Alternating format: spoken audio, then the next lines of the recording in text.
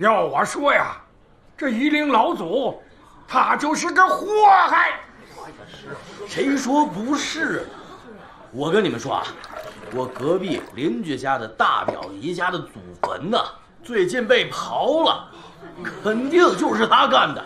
听听，哎，我跟你们说啊，听说他在用尸体炼制什么傀儡，哎，真是太吓人了。他在穷奇道啊。生生将一个人做成了傀儡，连杀十几个人呢。那傀儡还是温氏余孽。自那之后，人们都称他是鬼将军。只是穷奇道之后啊，这鬼将军的去向就没人知道喽。嗨，还能去哪儿？肯定跟着夷陵老祖作恶呗。嘿嘿嘿。你们呐，只是知其一，不知其二！夷陵老祖的可怕之处，何止是练傀儡？他的那些手段，简直令人毛骨悚然。哎，我跟你们说啊，他挖那些尸体，是为了敲骨吸髓。助长妖术啊！要不是云梦江氏收养他、栽培他，他魏婴这辈子就是个混迹乡野市井的庸徒。他竟然叛出师门，伤了小江宗主。他这种白眼狼，人人得而诛之。对，就是，这种人啊，就是该杀。对，该杀。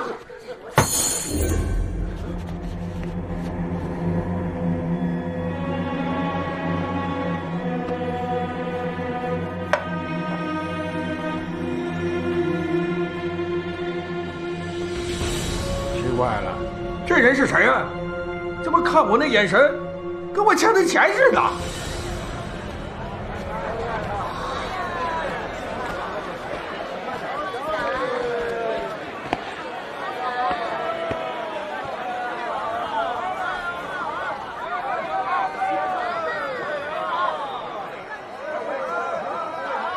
哎，老板，你这都生牙了，你想咋的？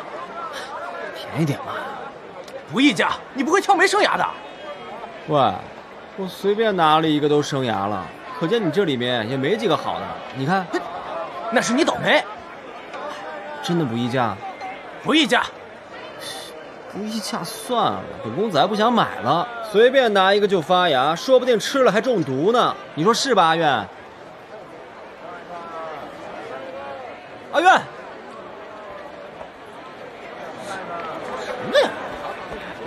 阿渊，阿渊，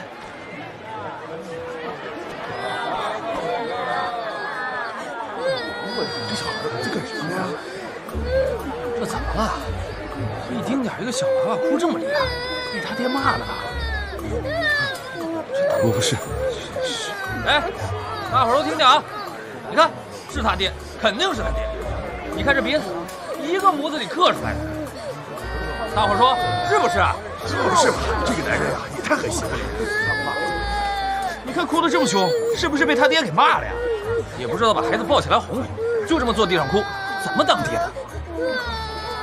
这么年轻，哎，是第一次当爹吧？我当年呢也是这样，什么都不懂，老婆多生几个就全都懂了。教小孩啊，得慢慢学。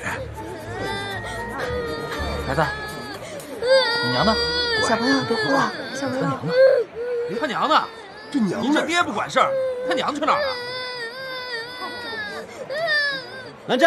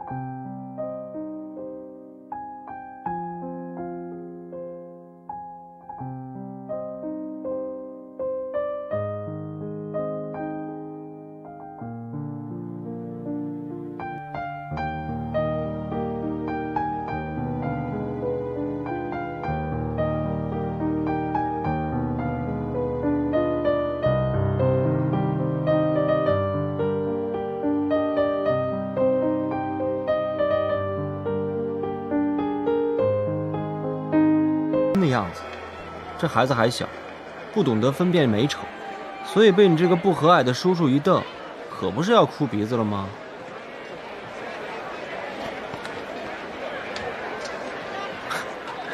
南战，你看，哎，看一看了，卖小玩具了，来看看吧。阿月 来来来看看了啊！哎，小玩具了，哎，看看吧。啊，哎，阿月，什么呀？你看那个好不好看？好看，好看呀、啊！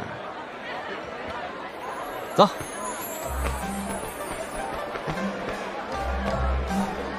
你看，喜不喜欢？喜欢，喜。欢，哎，你真的喜欢呀，老板，啊，走。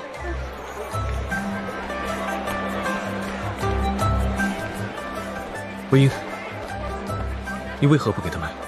我为什么要给他买？你问他想不想要，难道不是要买给他吗？问是问，买是买，谁说问了就一定要买？你！想要哪个？看看看看了，这里面的想要哪个？来看看来，小快点，小快点来，小孩大人都喜欢的哦，来看看了。哎，怎么样？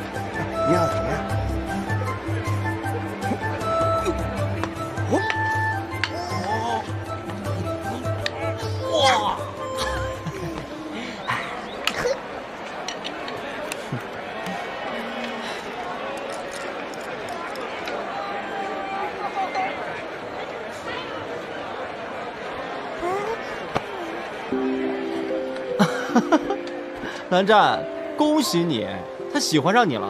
他喜欢谁就会抱谁的大腿，而且绝对不会松手。